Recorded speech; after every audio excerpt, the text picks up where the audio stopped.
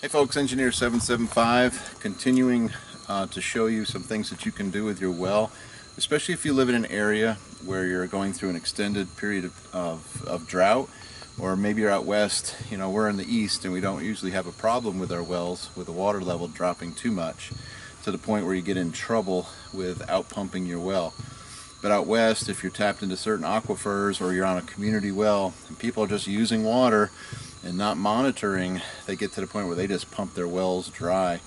And so there's some things that you can do. And what we put on our well here is a, it's an Eno Scientific um, well watch is what it's called. And it is basically a sonar device that allows you to capture the depth of the, static water level, which is the distance from the ground uh, from this device down to the top of the water.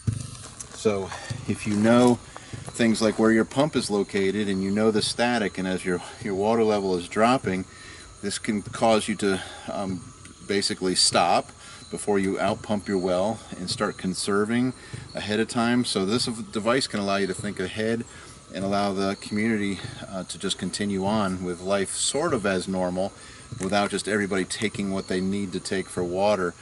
And it can uh, also put you into a, uh, you know, a conservation mode where you're, hey, we're not going to wash the cars, we're not going to, uh, you know, water the lawns based on our water level. Now, when the water level comes up, then you can begin to use your water as normal again.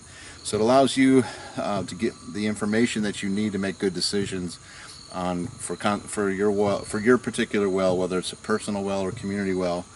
And so there's a great device. And there's a link in the description of where to find these. Again, it's Eno Scientific, and uh, it might not be a thing east of the Mississippi as I find a lot of different wells, but when you get into areas that are been very dry, California, Nevada, Oregon, and other places like that, it's going to be a great device to let you know how you're doing with your water storage because most people do not have an idea what's going on in their well. So before you pump your well dry, you might want to know what's going on with it. So what we've got, this thing does require some power, but not a lot of power. It's like one watt. And uh, we've got it hooked to a battery. Uh, my well is a long ways from my home, so I just brought a battery and inverter down here to run it. And there's, again, it could be a small little solar panel battery charging system and we've got hooked to the laptop and what we're doing is logging every minute we take a sample and we're finding out what the static water level is dumping it to a, a text file and then we can graph it and do whatever but it allows us to see uh, over a period of time it'll take 25 million data points so you can watch your well over a particular period if you want to watch it especially in the summer months. It's a great device for allowing you to see what's going on with your well. So again trying to do all things water. We showed you on the first video the uh, the well sounder.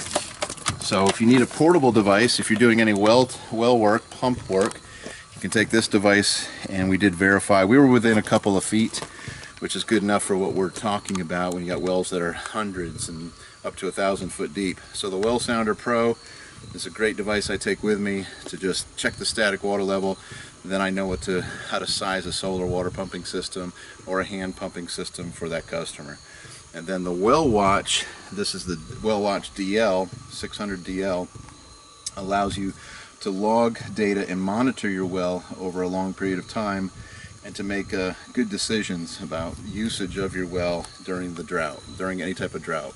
So uh, hope I answered uh, any questions you might have. If not, leave some questions. If you've used these devices and got any trips, tick, tri tips or tricks, let me know. But we're going to go ahead and capture the data out of here and make a few graphs. And uh, so just having fun with some gizmos. And again, this is Engineer 775 signing out.